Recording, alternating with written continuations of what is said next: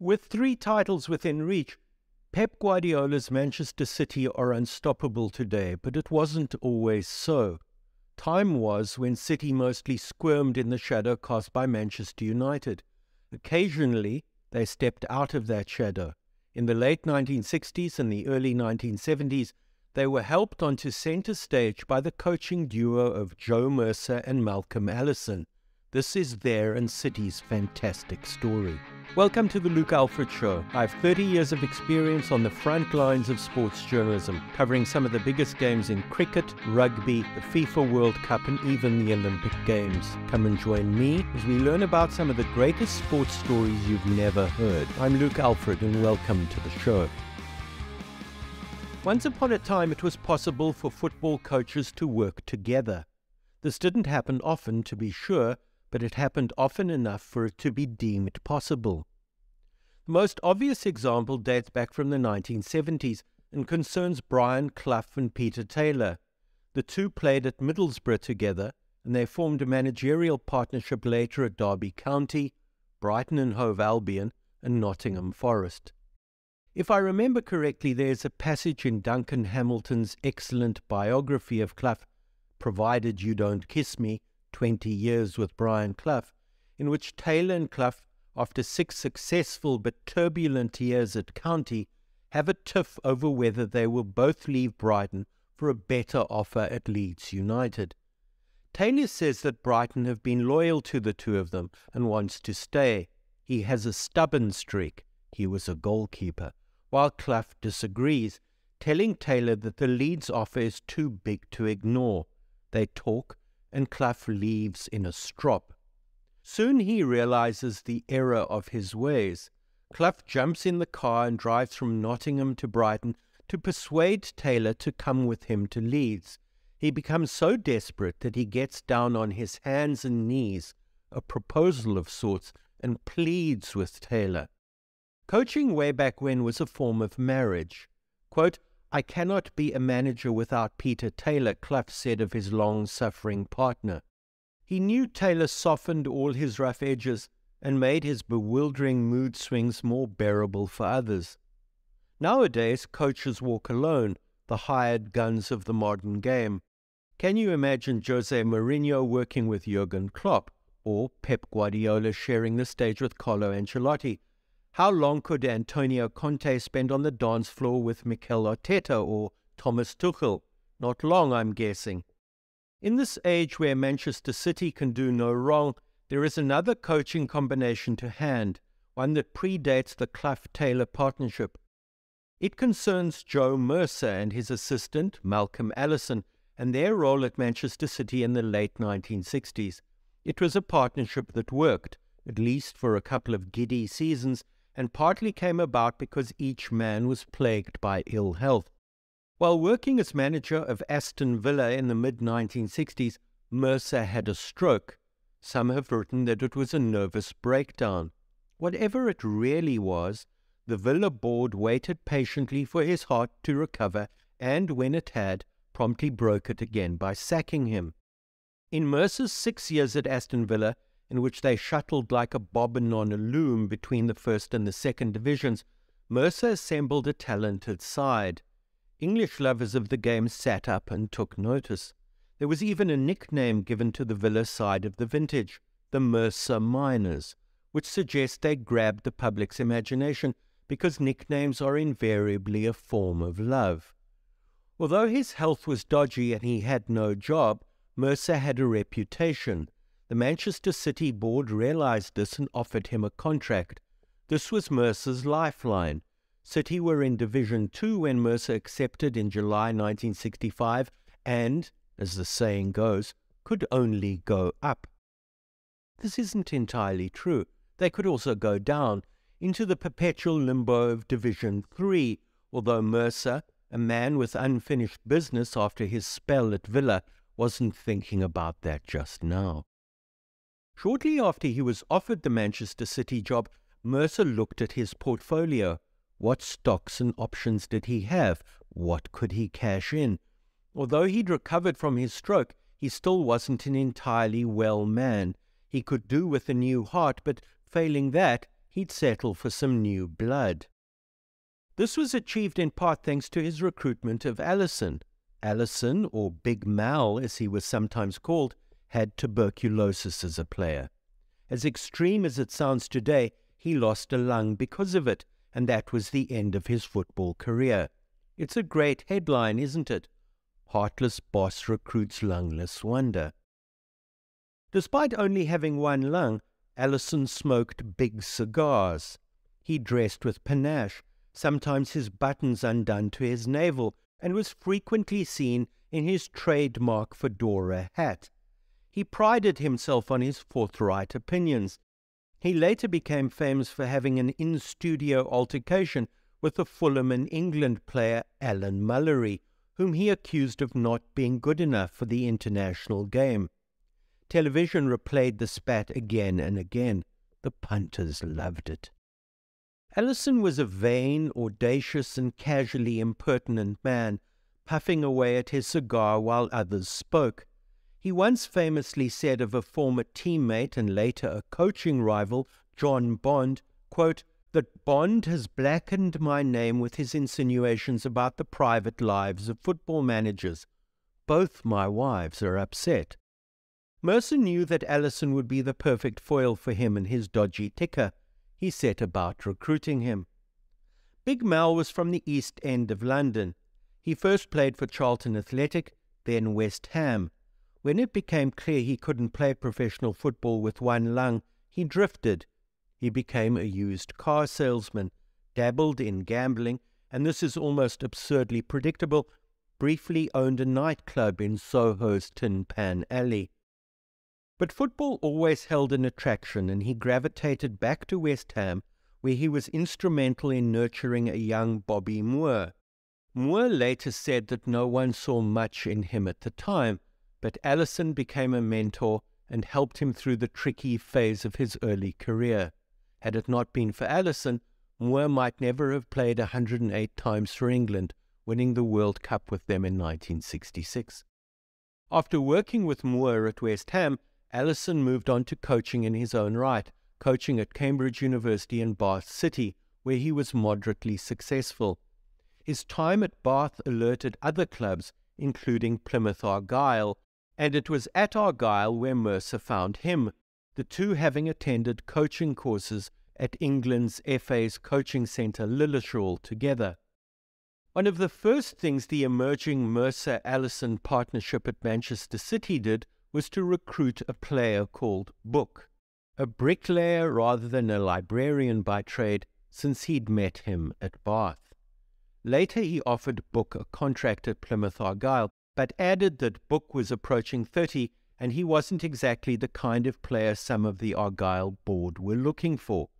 To sweeten the deal, he conspired to forge Book's birth certificate to make him appear younger than he was.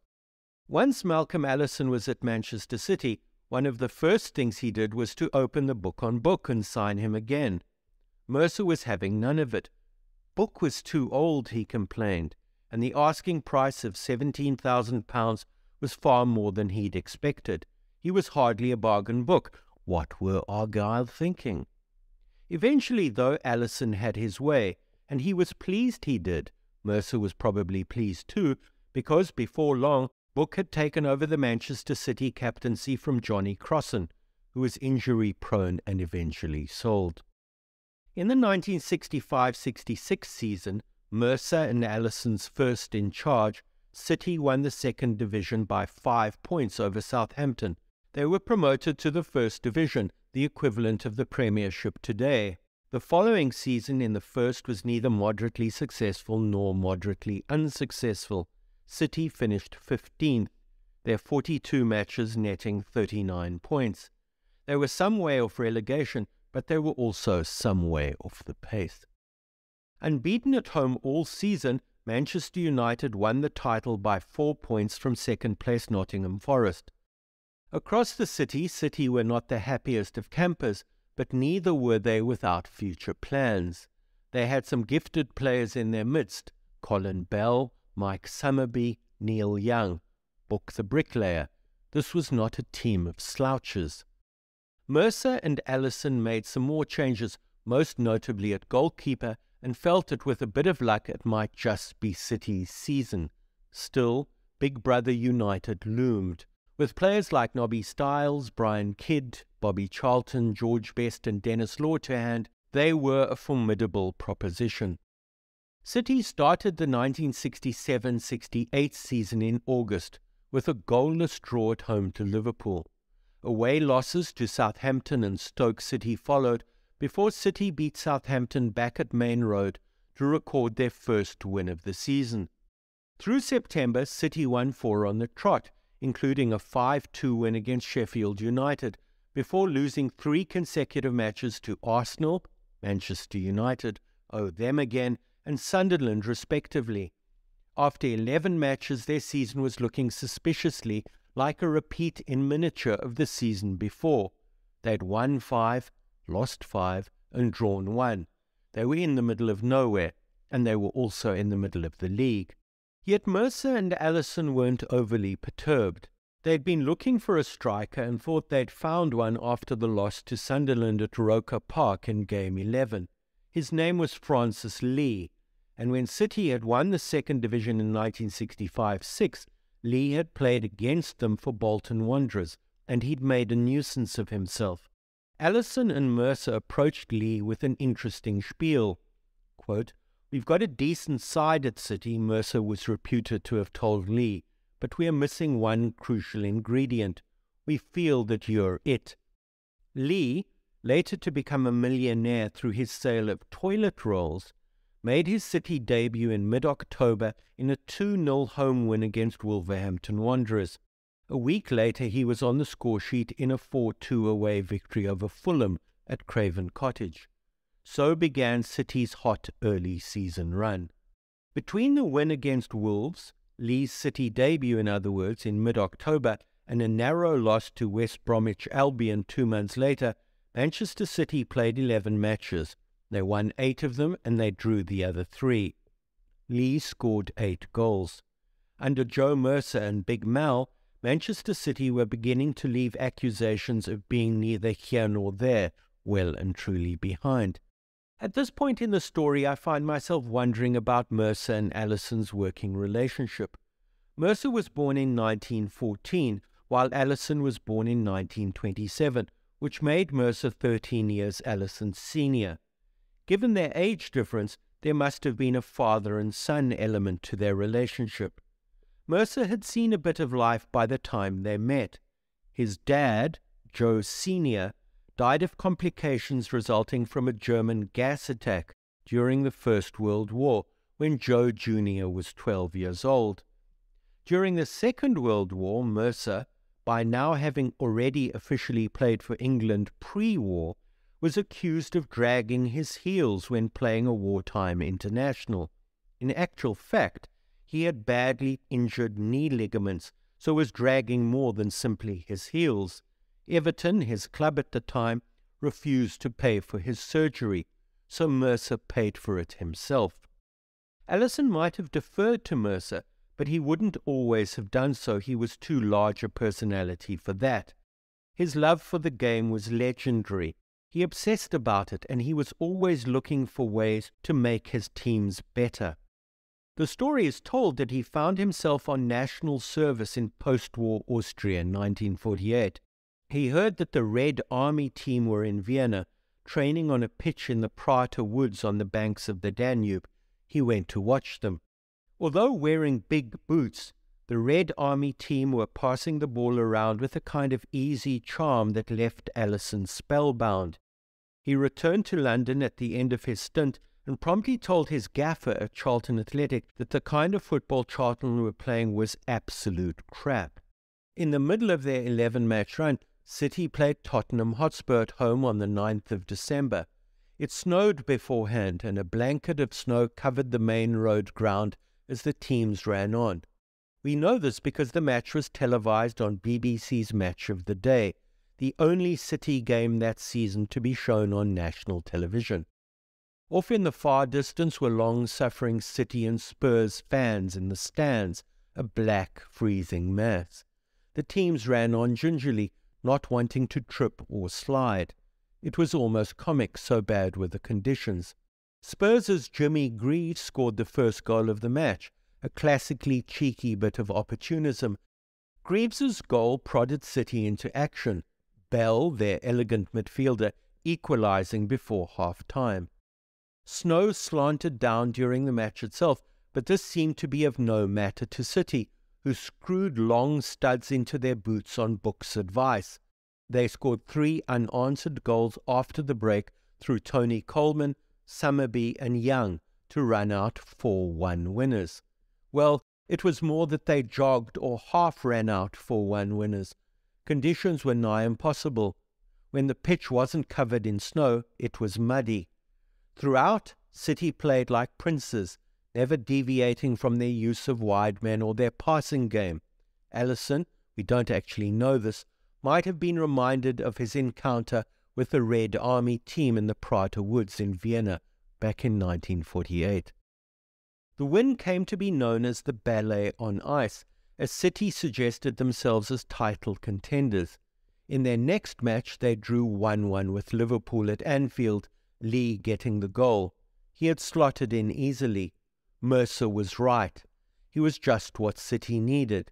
It was going to be an exciting second half of the season. Slightly inexplicable home and away defeats to West Bromwich Albion before and after Christmas brought City down to earth, but they opened the new year with a 3 0 away victory over Nottingham Forest. It was the beginning of a seven match unbeaten streak, the only draw coming against Arsenal at Maine Road in early February. The City bubble was burst by Leeds United, who beat them 2 0 at Elland Road in March. It was not a happy day. Like City, Leeds were title contenders. City had already lost a fourth round FA Cup replay to Leicester City by that stage, so the league was all they had. Dickie Hart and One Lung must have had some serious conversations. The Leeds defeat was bad enough, but four days afterwards, City were scheduled to play their old rivals, Manchester United, who had gone top thanks to City's defeat at Elland Road. United, remember, had won the league the previous season and were in contention for the league again. City had already lost once to them that season. This match was at Old Trafford. It was now or never, a Rubicon moment. In front of 63,004 fans at Old Trafford, United took an early lead. City equalised and scored two more, one of them to Lee, as they romped to a 3 1 victory over Manchester United. City had nine matches left, battling it out with their nearest contenders, United, Liverpool, and Leeds, for the title. Four of them were played in 10 days at the beginning of April, two at home, two away. City won their home matches against Chelsea and West Ham, but lost to Leicester City at Filbert Street and Chelsea at Stamford Bridge. Nerves were hardly settled with a nil-nil draw against Wolves, but breathing for Mercer became slightly easier when, in City's fourth last game of the season, they scrambled a vital home win against Sheffield Wednesday thanks to an own goal. The permutations were complicated to rehearse here, but should they win their last three fixtures, chances were that they'd win the title. West Bromwich, who had beaten City twice on either side of Christmas, clearly had a liking for crashing a party because when City were eking out two points against Wednesday, West Bromwich Albion beat Manchester United. In City's third last game of the season, they played Everton.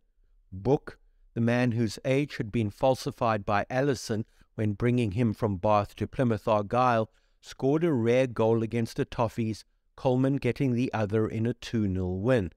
One down, two to go. In their penultimate game of the season against Spurs, their opponents in Ballet on Ice, City won 3 1.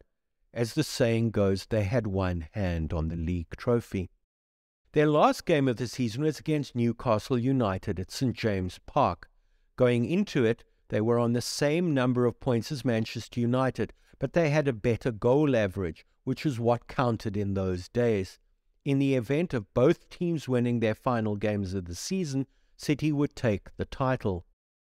As it was, they made exceptionally heavy weather of it in Newcastle. At half time, the score was 2 all, United having twice come from behind to equalise. Young scored for City to make it 3 2, and then, appropriately, given that he had been dubbed the last piece of the jigsaw, Lee made it 4 2 to the visitors. Newcastle grabbed one back, but it ended 4 3. With Sunderland beating Manchester United 2 1 in United's final game of the season, City were champions by two points over United and three over Liverpool, with Leeds finishing fourth, five points adrift. With 86 goals for and 43 goals against, Manchester City had a goal average of two, the best in the league. A league title had taken a while for Mercer. He would turn 54 a couple of months after the victory. After his struggles with his heart and his apprenticeship with the Morris Miners, it was the sweetest victory. Beside him, Allison was equally delighted.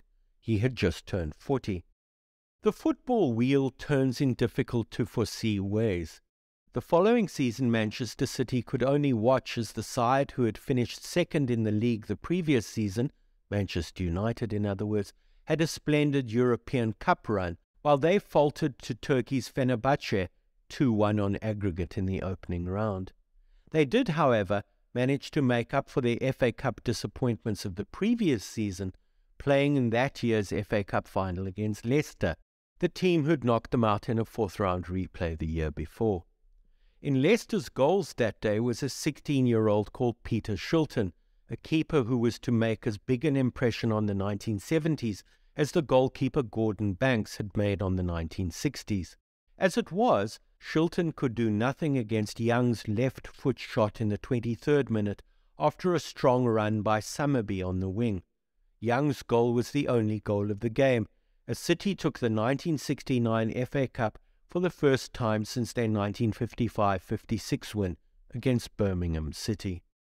There's a fun postscript to the story of Mercer and Allison's partnership. In time, Allison got Mercer's job, the job he had always wanted, with Mercer shuffling off upstairs. After wanderings elsewhere, Allison found himself back at City in 1979. By late 1980, however, it all began to go south for Allison in Manchester City. Sailing dangerously close to the bottom of the league, he was sacked by City chairman Peter Swales. In a perverse twist of fate, who should replace him but John Bond, manager of Norwich City and the man Allison accused of making insinuations about his private life years before. What does a sacked manager do? He goes back to his power base, where his contacts are, and in this case it meant going back to London for Allison. He became coach at Crystal Palace for the second time. In a charming irony, Palace were drawn against Bond's Manchester City in that year's FA Cup third round. Given that there had been some bickering in the press between Bond and Allison, there was some nice sharp needle going into the tie. It was an away one for Palace, and so meant a trip to the very Manchester environment Allison knew so well and had just left behind. Allison wanted desperately to win it, but was also desperate not to look too desperate. There's nothing as desperate as excessive desperation, as we know. Bond City had the better side, but maybe Allison could just manage to fluke a win. This was a cup tie after all, a place where, traditionally, anything can happen, and it frequently does. At half time it was nil-nil, so Palace was still in with a shout. That's all it was, because they let in four goals after the break. Allison was a dejected man. So were the Palace players, their fans, and the Palace board. Before long there was a Palace revolution, Allison hadn't been in the job for two months when he was shown the door. Worse still than losing his second job in two months, Allison could only stand idly by and watch Manchester City romp through the latter rounds of the FA Cup, which rather reminds one of today. Some older listeners of this podcast might remember the final City against the Spurs of Ossie Ardiles, Ricky Villa, and Glenn Hoddle. Worst of all, it was against a City side Allison had helped to make. The final between Spurs and Manchester City needed to go to a replay because the first one finished up one all after extra time. Five days later, Spurs won the replay 3 2. Allison could only watch and puff on his cigar, watching life pass him by. Later that decade, Allison found himself at Sporting Lisbon. His goalkeeping coach had a son who used to come along to training. In time, that gangly teenage son would fill out. Some said he filled out so much that he became pretty full of himself. His name was Jose Mourinho. He would call Big Mal his inspiration in the years to come. If you enjoyed this episode of The Luke Alfred Show, please like, share, follow, and subscribe. I write full scripts for the show in the form of long form essays, and these are all available on my Substack. To get written episodes of The Luke Alfred Show a day early on Fridays, please check out the Luke Alfred Substack. You can hear The Luke Alfred Show on YouTube, Spotify, Apple and Google Podcasts, or wherever you get your podcasts. I release a new episode every Saturday at 10:30 a.m. South African Standard Time.